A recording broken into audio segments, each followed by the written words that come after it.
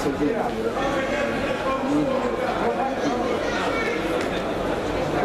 туда к ней я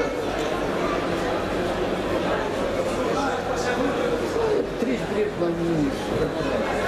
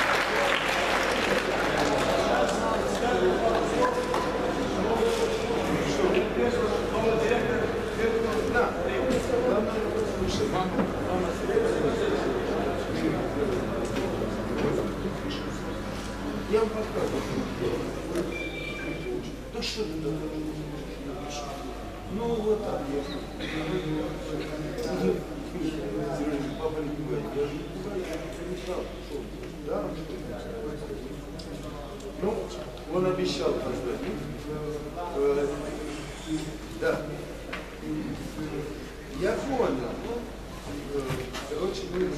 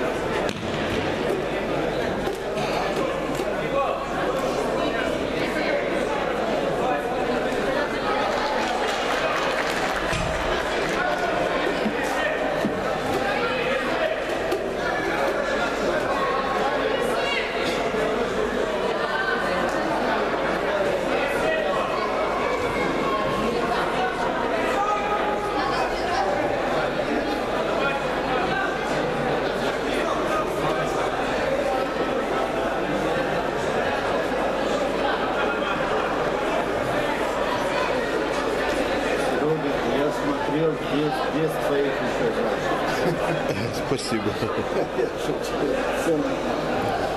Кто не лазит, кто не аккуратно.